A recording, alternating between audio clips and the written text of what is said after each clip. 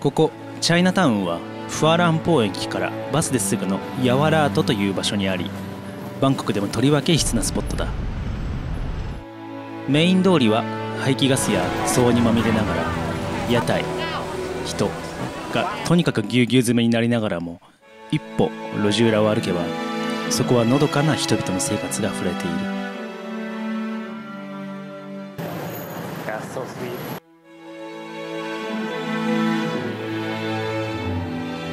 さ街を散策してみよう。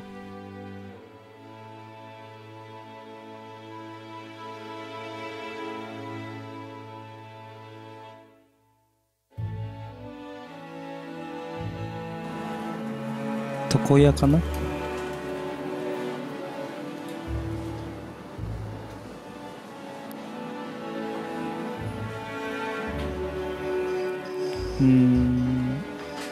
りあえず前の人の後をついていこうかな。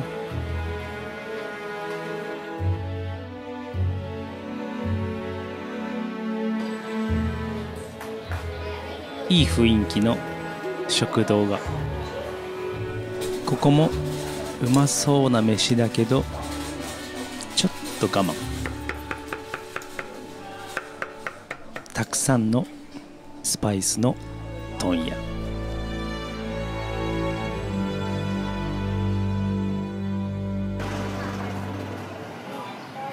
もう一つの路地裏に入ってみよ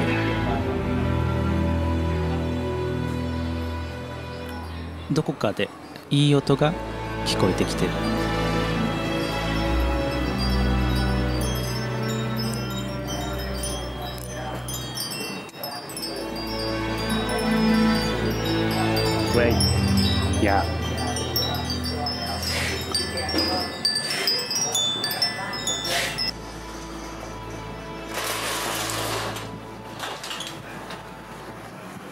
はい。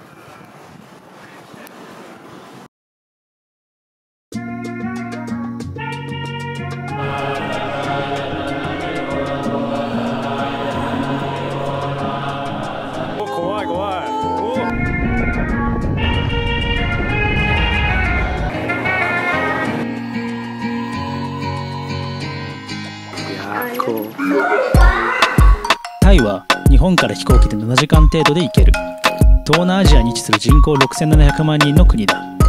仏教の信仰も強く多くの寺院や僧侶が街中に浸透している。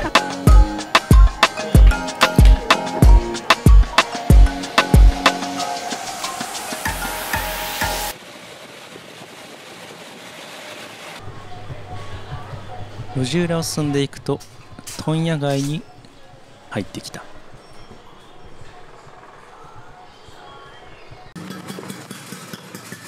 ここチャイナタウンでは多くの問屋が軒を連ねる。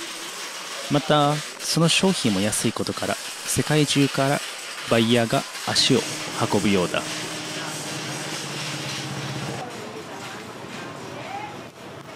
謎のキャラクター。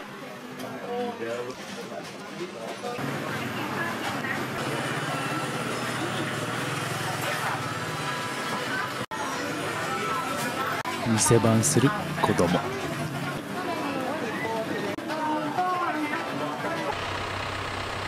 ここは学校っぽいけど。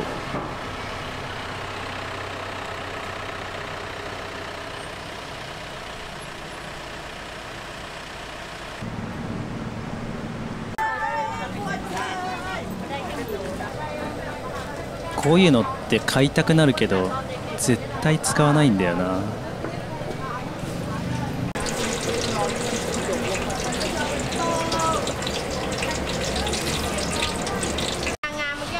だんだんとメイン通りに近づいてきて騒がしくなってきた。みかんをその場ですりつぶしたジュース。世界一うまい気がする。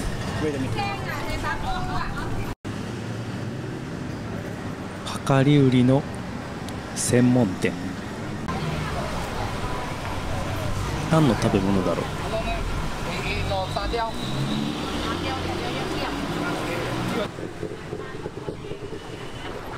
あーやばい。腹減ってきた。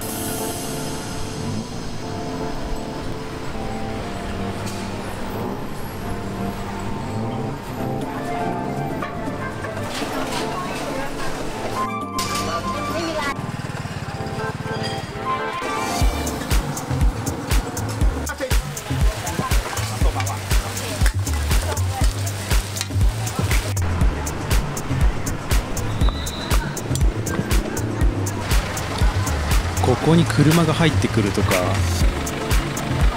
マジかよ。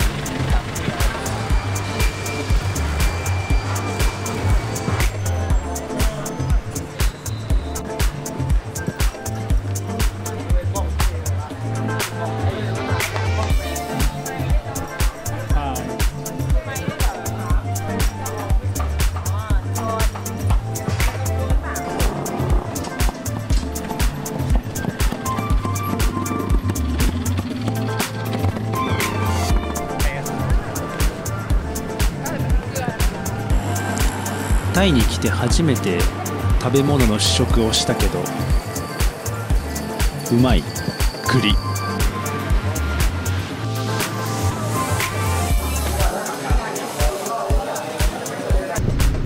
さてここには街並みを見るっていう目的もあったけどもう一つのメインイベントはフカヒレを食うということだ。フカヒレとはチャイナ服。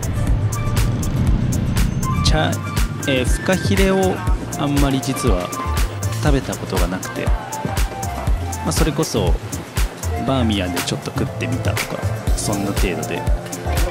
なのでがっつりフカヒレを食ってみたいというのがメインイベント。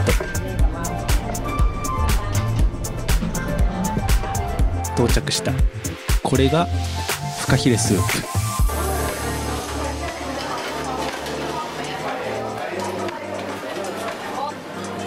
すごいたっぷり入っている。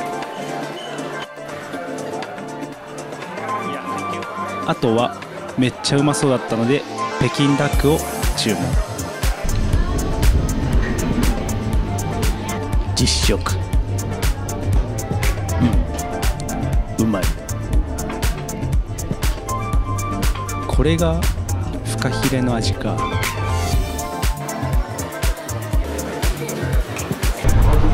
これ入れんのかなわかんないんだよな見栄えはいいけどあってはいたみたいそしてちゃんとした初めての北京ダックあーこれはうますぎて酒が欲しくなるやつだな。追加でシューマイ？もオーダー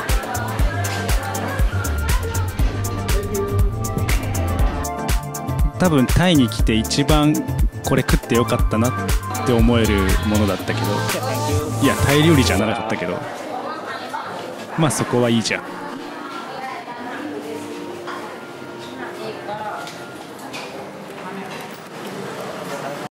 さて帰ろうかなバスで来たけど意外と駅からも近かったので帰りは歩いて帰ろうかな。なんか建物があるな。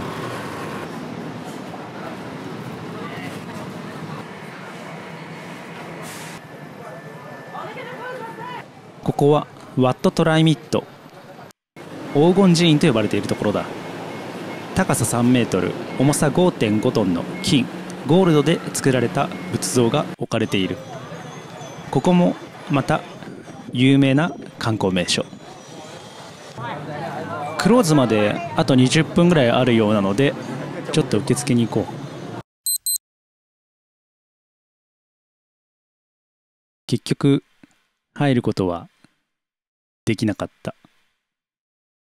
今回入れなかったところ多くね？近くにあった別の寺院。まあ、これはこれで。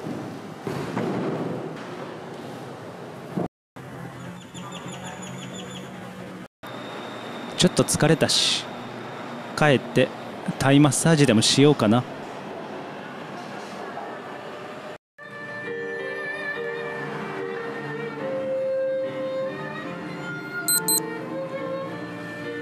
昼はちょっと優雅なものを食べてしまったのでコンビニで弁当を買ってきた。タイのコンビニ弁当うまいんだよな。すごい安いくせに。このコンビニのご飯を食べながら昼食べたフカヒレについて思い返していた。フカヒレ自体はそんなめちゃめちゃうまいっていうわけでもなくただ貴重だからうまいと感じてしまうのか。じゃあ貴重じゃなかったらどんな味をしていたんだろうと。そんなことを思う？一日